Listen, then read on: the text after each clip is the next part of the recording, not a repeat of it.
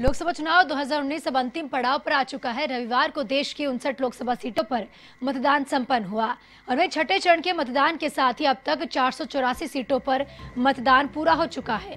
अब आखिरी चरण में उनसठ सीटों पर 19 मई को वोट डाले जाएँगे। इस चरण के मतदाताओं को अपनी पार्टी की तरफ़ लुभाने के लिए सभी पार्टियों ने दिन रात एक कर दिए।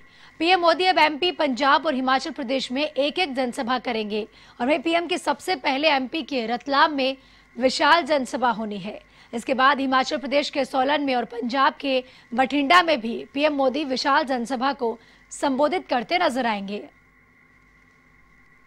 लोकसभा चुनाव 2019 का दंगल अब अंतिम पड़ाव पर आ चुका है, क्योंकि छह चरणों के मतदान संपन्न हो चुके हैं और सातवें चरण में मतदान होने हैं और इसी के लिए सभी पार्टियों ने वोटरों को लुभाने के लिए कमर कस ली है और इसी के तहत पीएम मोदी प्रचार प्रसार में जुटे हैं। पंजाब के भटिंडा में पीएम मोदी एक विशाल जनसभा को संबोधित करेंगे।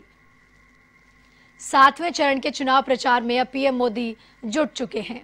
पीएम मोदी आज तीन जनसभाओं को संबोधित करेंगे। सबसे पहले एमपी के रतलाम में पीएम मोदी की जनसभा होनी है और उसके बाद हिमाचल प्रदेश के सोलन में पीएम एक चुनावी सभा को संबोधित करते नज़र आएँगे। सातवें चरण के चुनाव प्रचार के बाद 23 मई को नतीजे आने हैं और अब चुनाव अंतिम पड़ाव पर है। पीएम मोदी सबसे पहले एमपी में आज चुनावी जनसभा को संबोधित करेंगे।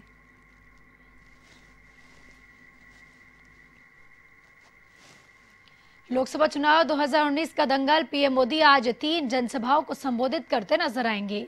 सभी पार्टियों ने अपने अपने वोटरों को लुभाने के लिए अपने स्तर पर ज़ोर शोर से प्रचार प्रसार करना शुरू कर दिया है और इसी के तहत पीएम मोदी सातवें चरण के चुनाव प्रचार में जुट चुके हैं। पीएम मोदी आज तीन जनसभाओं को संबोधित करेंगे। सबसे पहले एमपी के रतलाम में पीएम मोदी की एक विशाल जनसभा होनी है।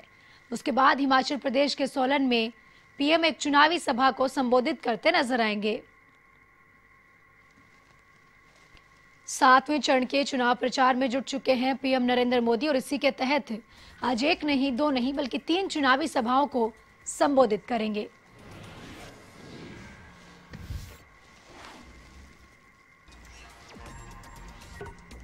सभी पार्टियों ने अपने अपने स्तर पर प्रचार करना शुरू कर दिया है, चूँकि चुनाव अब अंतिम पड़ाव पर है। और पीएम मोदी आज सबसे पहले मध्य प्रदेश के रतलाम में एक विशाल जनसभा को संबोधित करते हुए एमपी की सियासत को साधने का काम करेंगे। उसके बाद पंजाब के बठिंडा में भी एक विशाल जनसभा को संबोधित करते नज़र आएँगे।